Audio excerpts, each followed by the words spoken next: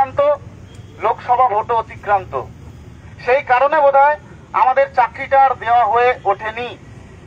তারপরে আমরা দ্বিতীয় দফায় সেন্ট্রাল পার্কের পাঁচ নম্বর গেটের সামনে একশো সাতাশি দিন টানা আন্দোলন করি।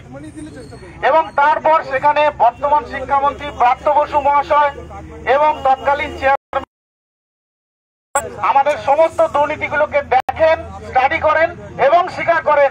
অন ক্যামেরা অন মিডিয়া আমাদের কাছে গোপন বৈঠকে নয়।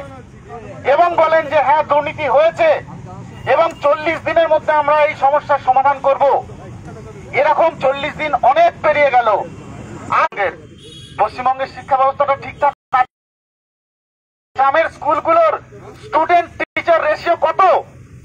স্কচ অ্যাওয়ার্ড নিয়ে শুধু কচকচানি আর হায়ার স্টাডিজ এর কি অবস্থা? দু হাজার ষোলো সালের পর থেকে দু হাজার বাইশ সাল কোন রিক্রুটমেন্ট নেই। তারপরও তার সামনে বসা বেশ কিছু মাত্র আমাদের কাছে প্রতিশ্রুতিবদ্ধ আজকে তিন বছর ধরে।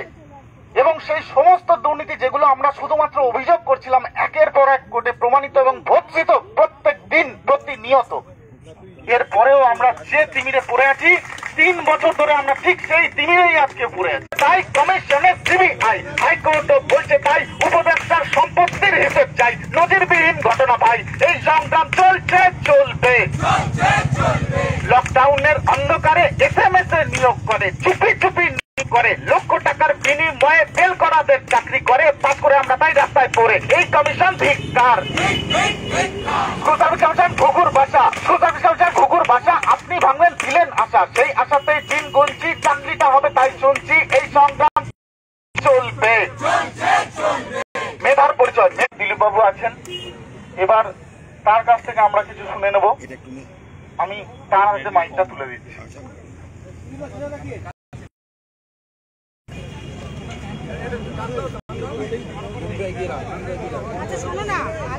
আচ্ছা এখানে বসে আছেন। প্রায় তিন বছর ধরে আন্দোলন করছেন। আমারও সৌভাগ্য হয়েছিল আপনারা যেদিন প্রথম আন্দোলন শুরু করেন আমিও মাঠে আপনাদের ছিলাম। এখনও আছি। আপনাদের অধিকার প্রতিষ্ঠিত হওয়া ইংরেজের আমলেও আন্দোলন করে আমরা পেতাম, সাফল্য পেতাম। সেই আশা নিয়ে উনিশ সালে এসেছিলাম কাছে। যে অধিকারের দাবি নিয়ে আপনারা আন্দোলনে নেমেছেন, সেই আন্দোলন সফল হবে। আপনারা দাবি পাবেন, এটা দাবি। একদিন হয়তো আমি বাধ্য করেছেন। বারবার প্রতিশ্রুতি দেওয়ার পরেও কিছু করেননি। তাকে সিবিআই ডেকে পাঠিয়েছে, আজকে নাকি দেখা করতে হবে। আমি এটাও অভিপ্রেত নয়। একজন শিক্ষামন্ত্রীকে সিবিআই ডাকবে, জিজ্ঞেস করবে আর প্রাক্তন শিক্ষামন্ত্রীকে। আমাদের পশ্চিমবঙ্গের রাজনীতি, সমাজ, এটার জন্য প্রস্তুত নয়। বাংলার মানুষ, আমরা প্লেন মাস্টারমশাইদের হয়তো বেতন বেড়েছে, সুবিধা বেড়েছে, কিন্তু মাস্টারমশাইরা এখনও সেইভাবে জীবনযাপন করেন। সাইকেল নিয়ে আমি স্কুলে দেখেছি, গ্রামের দিকে এখনও স্কুলে যান, একটা ঝোলা নিয়ে। অধ্যাপকরাও সাধারণ বাসে যান। তো সেইখানে সেই শিক্ষা ব্যবস্থার যিনি ধর্মে সর্বা তাকে সিবিআই ডেকে পাঠানোর কথা শুনছে না। তাই বাধ্য হয়ে লোকেরা কোর্টে যান রাজনৈতিক হিংসা হত্যা এবং রাজনৈতিক এই যে বিভিন্ন ডিপার্টমেন্টে যে দুর্নীতি এগুলো সমাজে সম্মান বাড়ায় না। এটার জন্য কোর্টে যাওয়া হচ্ছে। আর কোর্ট আদেশ দিচ্ছেন মানে সাধারণ সমাজ বা আমাদের যেমন এই সরকারের উপরে আস্থা নাই কোর্টেরও আস্থা নাই। একটা নির্বাচিত সরকার দশ বছর হয়ে গেছে এগারো বছর চলছে। এর চেয়ে অধিক জনসমর্থন নিয়ে লোকে অনেক আশা করে ভোট দিয়েছিল যে এই সমস্যার সমাধান হবে। এক বছর হওয়ার আগে সরকার একরকম অসফল, জরাজীর্ণ অবস্থায় পড়ে আছে মুখ্যমন্ত্রী কতটা হতাশ? কালকের একটি নাবালিকা মেয়ের উপরে যে যৌন অত্যাচার, হত্যা হয়েছে, সে নিয়ে যে স্টেটমেন্ট দিয়েছেন, তাতে আমারও সন্দেহ হলো, মুখ্যমন্ত্রীর মানসিক অবস্থা ঠিক আছে কিনা? এই ধরনের শব্দ একজন মহিলা মুখ্যমন্ত্রী একটি বাচ্চা মেয়ে সম্বন্ধে বলতে পারেন? এটা সভ্য সমাজে কতটা সমীচীন? আজকে এগুলো আমাদের শুনতে হচ্ছে, কারণ কি তার কাছে বলার কিছু নেই। এত বড় বড় ঘটনা, লজ্জাজনক, দুঃখজনক, আজ আমাদের যুব সমাজ যারা খুব গরিব পরিবার থেকে এসেছেন, পরিবারের লোকেরা করে তারা এখনও লেটার পাচ্ছেন না। পুলিশ বিভাগে অ্যাপয়েন্টমেন্ট লেটার পাওয়ার পরেও তারা ডাক পাচ্ছে না চোখ দেওয়ার জন্য। তার মানে অনেকে ভাবতে পারছে হয়তো চাকরির পদ খালি নেই। শিক্ষকদের এক লক্ষ ষোলো হাজারের বেশি পদ খালি আছে। পুলিশেও সেরকম শিক্ষা ব্যবস্থা, এই কোটি কোটি টাকা, এত টিচার এত স্কুল কলেজ আমাদের ট্যাক্সের টাকায় চলছে, তার কি মানে হয়? যদি আপনি সেই সার্টিফিকেটকে সেই শিক্ষাকে মর্যাদাই দেবেন না। এরপরে কি আমাদের প্রজন্ম তৈরি হবে? যারা ফেল করা স্টুডেন্টরাই আজকে শিক্ষক হয়ে যাচ্ছে। আজকে এখানে হবু শিক্ষকরা বসে আছেন ডিগ্রি টেম্পারেচার সেখানেও সারাদিন বসে আপনারা এখানে ধর্ণা দিচ্ছেন, স্লোগান দিচ্ছেন।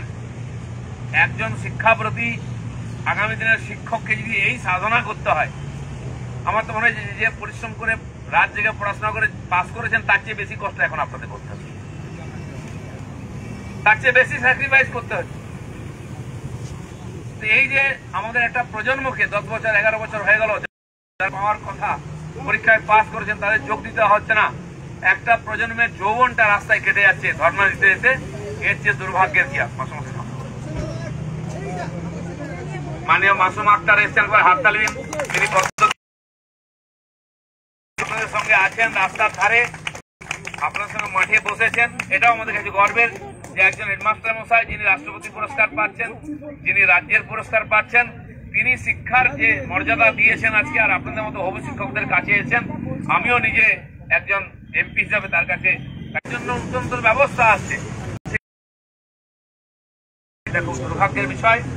তো সেই জন্য যে লড়াই আপনারা করছেন লড়াই তো চালাতেই হবে, কারণ পশ্চিমবাংলায় জল পেতে গেলে লড়াই করতে হয়, আলো পেতে গেলে লড়াই করতে হয়, রাস্তা পেতে গেলে লড়াই করতে হয়, চাকরি পেতে গেলে লড়াই করতেই হয়। আর লড়াই করার পরেও পাওয়া যায় না। আমার এটা খুব দুর্ভাগ্যের, খুব ধন্যবাদ, অভিনন্দন জানাই এই লড়াইয়ের জন্য। আমি জানি না এই সরকার আরও পাঁচ বছর থাকার কথা চার বছর, কারণ মানুষ তাদের দিয়েছে তাদেরকে অধিকার, কিন্তু আরও চার বছর যদি আপনাদের বসে থাকতে হয়, ধর্ণা দিতে হয় অধিকারের জন্য লড়াই করতে হয়, কতজনের বয়স থাকবে ভগবান জানে। আর আদৌ এই সরকার থাকাকালীন আপনারা শিক্ষা বিভাগে ঢুকে আপনাদের দায়িত্ব পালন করতে পারবেন আমারও সন্দেহ হয়। পরিবেশ, মুখ চাইছেন বাচ্চাদের স্কুল চালাতে, স্কুল খোলা হচ্ছে কারণ টিচার নাই, স্কুলটা চালাবে কে? কারণ কি টিচারদের নিয়োগ দিতে গেলে আপনাদেরকে বেতন দিতে হবে, বেতন নেই। অথচ মেলা খেলা চলছে, একটা মেলাতে দেড় কোটি টাকার বেশি হয় খরচা কিসে? তেরো লক্ষ টাকা চা খাওয়ার জন্য রাস্তায় আজকে দেখুন, এমন কোন সরকারি বিভাগ নেই যেখানে দুর্নীতি নাই। আমি কেন্দ্রীয় মন্ত্রীদের সঙ্গে কথা বলেছি। আপনারা টাকা দিচ্ছেন, সেই টাকে, টাকা উড়ে যাচ্ছে। না বেতন পাচ্ছেন, না ডিএ পাচ্ছেন, না চাকরি পাচ্ছেন, হিসাব নিন, টাকা দিন। সবচেয়ে বেশি দুর্নীতি এখানে, কারণ সবচেয়ে বেশি কেন্দ্রীয় সরকারের যোজনা এখানে আসে। এটা আমাদের দুর্ভাগ্য। বাঙালি হিসেবে আজকে আমাদের সারা ভারতবর্ষে পরিচয় দিতে লজ্জা করে। একসময় বাঙালি বলে নেতাজি সুভাষ বোস, বিবেকানন্দ, রামকৃষ্ণ, রামমোহনের নাম আসতো। আজকে বাঙালি বললে আমাদের এমএলএ, এমপি যারা জেলে গেছেন বা সিবিআই ডাকছে, তাদের নাম আসে এই আমাদের পরিচয় আজকে। আমি জানি না, এর থেকে কবে আমরা মুক্তি পাবো।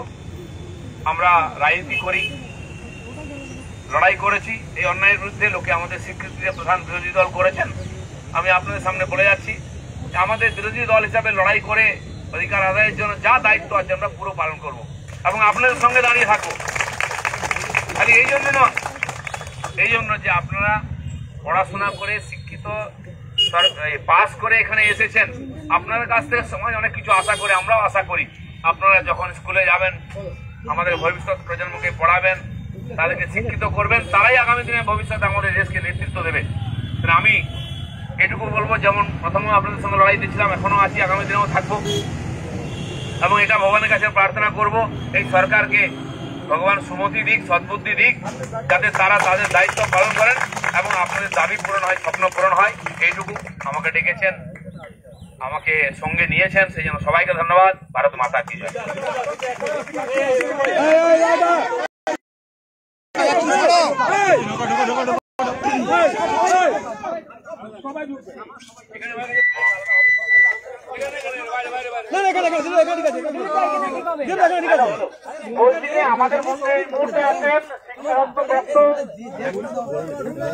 সৌরিক মাইক দে সৌরিক মাইক চল চল রোল।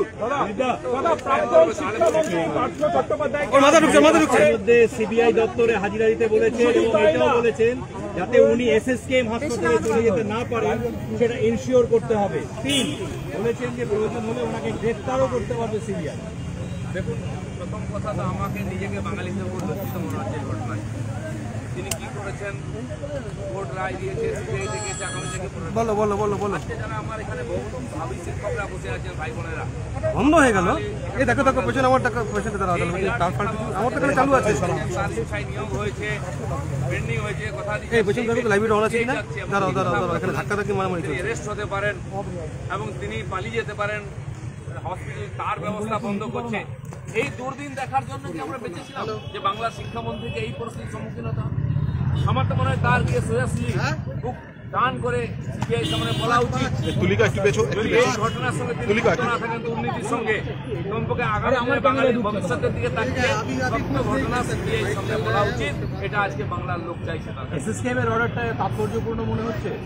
এসএসকেএম এ যেতে পারবেন না ইনশিওর করতে বলছে না দেখুন একজনকে আমরা দেখছি দুর্দন্ত প্রতাপশালী নেতা যিনি সরকারি পদে নাই অথচ লালবাতির গাড়িতে ঘুরে বেড়ান। তার কথায় তার পার্টি অফিসে এসপি ডিএম হাত জোড় করে বসে থাকে। এখানে কানেক্টিং দেখাচ্ছে নেটওয়ার্ক কোনো কারণে এতে আমাদের আইন ব্যবস্থার হ্যাঁ, আমাদের যে বিশ্বাসটা চলে যাচ্ছে। হ্যাঁ, start দিলাম। সমাজকে লুট করে টাকা দিয়ে সব জায়গায় সেটিং করে নেবে। হ্যাঁ হ্যাঁ হ্যাঁ আর আমরা ন্যায় বিচারের জন্য দিনের পর ধর্ণা দেবো কোর্টে যাব এটা কাহা তক চলতে পারে? এই জন্য যথারীতি সিবিআই বা কোর্ট এটা আগের থেকে। নিয়েছেন যাতে আমার- চিঠি পেলেই হয়ে যান। কারণ তাকে একদিন না একদিন সিবিআই সামনে যেতে হবে সত্য বলতে।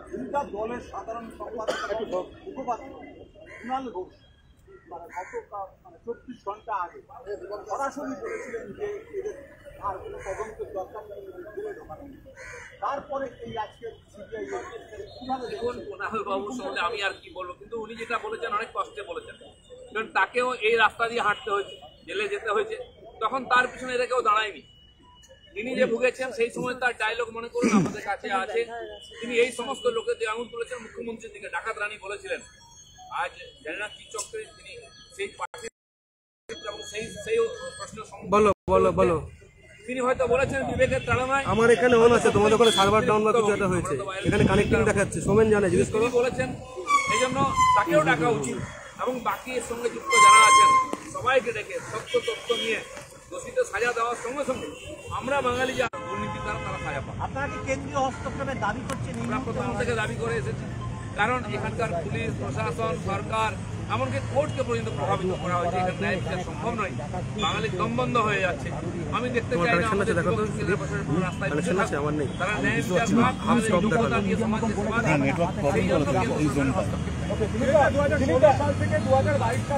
ভাই এত ফোন করলে আমার হাতে কিছু নাই। করছেন এবং এখানে মুখ্যমন্ত্রী এসে প্রতিশ্রুতি দিয়ে গিয়েছিলেন। আজ দু হাজার বাইশ কি বলবেন? এখনও রাস্তায় বসে রয়েছেন বলো। আমার এই ভাই বোনেরা যেদিন প্রথম আন্দোলন শুরু করেছেন উনিশ সালে হ্যাঁ রিস্টার্ট হচ্ছে এখানে এখানে নেটওয়ার্ক নেই। অনেকের নেটওয়ার্ক পড়ে তুলে নিয়ে গেছে পরবর্তীকালে কয়েকবার করেছেন তাদের কি করছেন তারা কোর্টে গিয়ে হ্যাঁ তোমার নিজে থেকে রিস্টার্ট হচ্ছে বোধহয় অফিস থেকে করেছে। তখন থেকে ওনাদের সঙ্গে আছি কারণ তাদের যেটা হ্যাঁ, অধিকার হ্যাঁ, হ্যাঁ, দাবি, এখানে দেখাল হ্যাঁ হ্যাঁ হ্যাঁ হ্যাঁ। থেকে বেরোতে হবে। হ্যাঁ আমি পুরোটাই চালাবো এখান থেকে বেরিয়ে এখানে নেটওয়ার্ক ইস্যু হচ্ছে। না না না বলছে বলছে বলছে তাহলে মন্ত্রিসভার সদস্য হয়ে তিনিও ওটা উনি জানেন একদিন না একদিন তার নাম আবার আসবে।